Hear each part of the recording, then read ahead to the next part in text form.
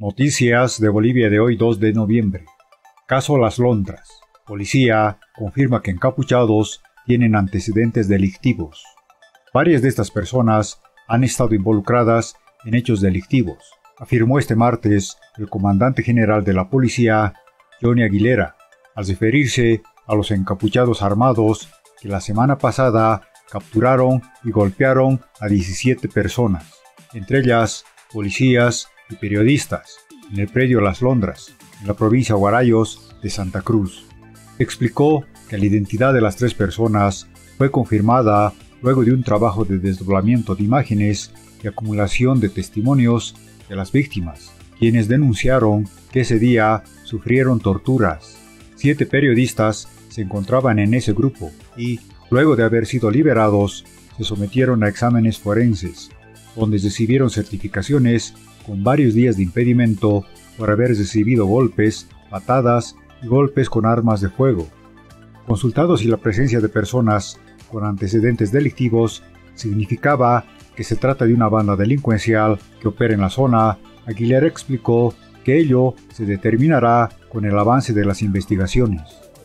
Madre de niña embarazada acude a la CIDH para pedir medidas cautelares. La madre de la niña de 11 años que quedó embarazada tras una vejación, acudió a la Comisión Interamericana de Derechos Humanos, CIDH, para solicitar medidas cautelares con el objetivo de que se pueda evitar que se concrete la interrupción del embarazo.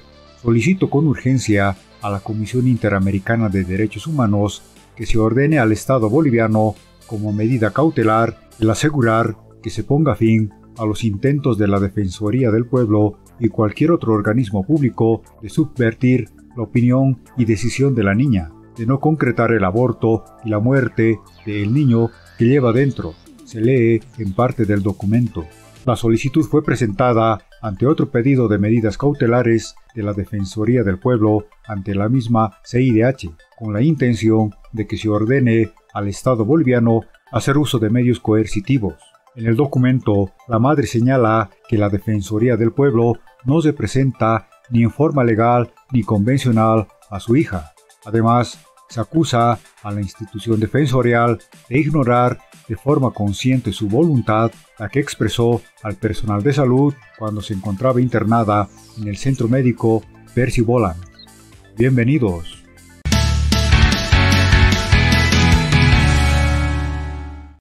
Noticias de Bolivia de hoy. Y continúa el fuego en el sector de Pilón Laja que dicen los expertos y algunos asambleístas que se pronunciaron en las últimas horas. Es dramático lo que está pasando en Pilón Laja, es inaceptable. Continúa el fuego en el Parque Protegido Pilón Lajas, ubicado en el límite entre los departamentos de Beni y La Paz. La ambientalista y senadora Cecilia Requena manifestó su preocupación por la crecida del fuego y advierte que las consecuencias de este incendio que avanza sin control podría determinar la falta de lluvias principalmente en el departamento de La Paz y en el occidente en general. De esos bosques depende las lluvias de La Paz. De esos bosques depende que haya el lago Titicaca. De todos los bosques amazónicos depende el agua de todo Bolivia y no solo de Bolivia. Es con eso con lo que estamos jugando. La ambientalista y parlamentaria se indica los avasallamientos de tierras como a una de las causas para que se generen estos incendios forestales, ocasionando graves daños al medio ambiente. Hay una relación con la forma en que hacemos agropecuaria en este país, que es una forma de rosa y quema, que ya es, eh, que tiene que ser modificada seriamente. Y lamentablemente se está utilizando este, este, este, mecanismo, que la verdad que tiene una larga tradición milenaria, de hecho, eh, como una forma de quemar áreas protegidas y luego poderlas disponer ¿no? como, como tierra para agropecuaria. Y esta madrugada la Cámara de Senadores aprobó el proyecto de ley de ascensos de las Fuerzas Armadas.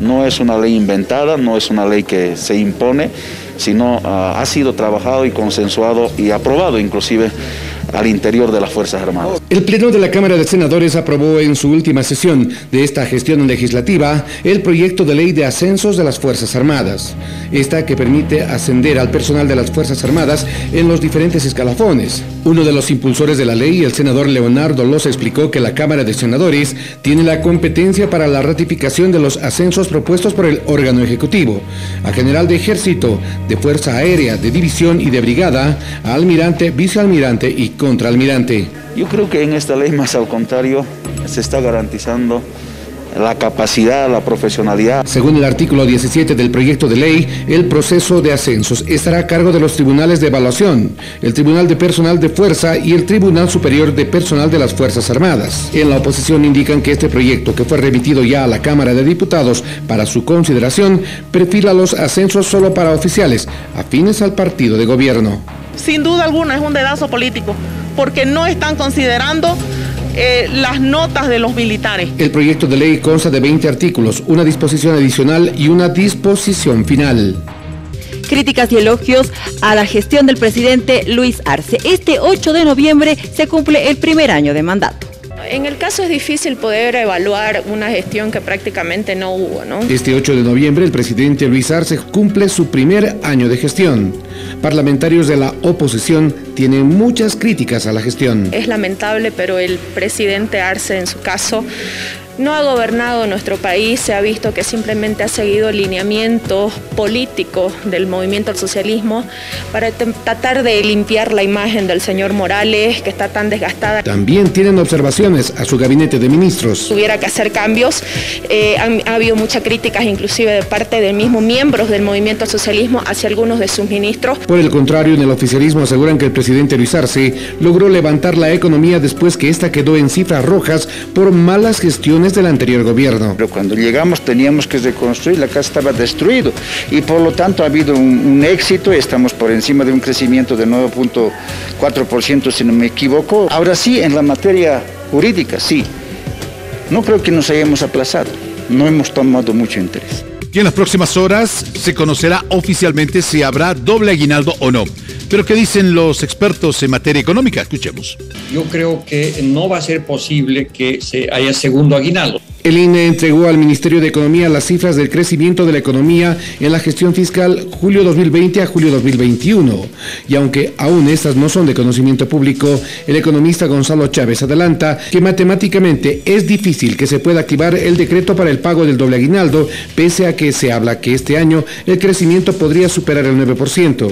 El crecimiento en el último semestre del 2020 fue negativo en menos 8.8%, pero no compensa porque cuando mensualizas este crecimiento te va a dar un crecimiento que puede estar entre 1.43 y 1.43 63. Eh, Sin embargo, el analista ve que la imagen del gobierno está de alguna manera afectada por el rechazo de los sectores por la ley de legitimación de ganancias ilícitas, entre otros, y esto podría dar paso para que en el gobierno busquen contentar a la población. Lo que sí puede ocurrir es que el gobierno decida sacar otro decreto supremo o simplemente decir que va a entregar un bono patriótico, un bono por la esperanza, un bono, cualquier nombre que les ocurra, para seguir reactivando la economía. Y sobre lo sucedido en Guarayos, hablamos del secuestro y tortura a policías, civiles y periodistas. El comandante general de la policía dice que hay tres personas ya identificadas que tendrían antecedentes delictivos.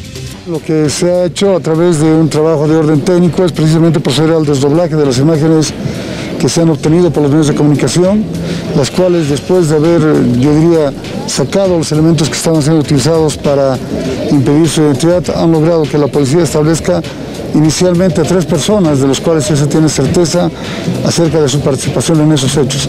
Y de otras cuatro personas que el Ministerio Público está citando, pues todavía no hemos logrado acumular elementos suficientes que nos permitan dar su identidad. Es producto de los testimonios que le permitan a la policía reflejar cómo estaban estructurados o organizados. Realmente son personas que están sometidas a investigación y si bien las tenemos identificadas, por el momento no vamos a dar su identidad. Bueno, varias de estas personas han estado involucradas en hechos delictivos.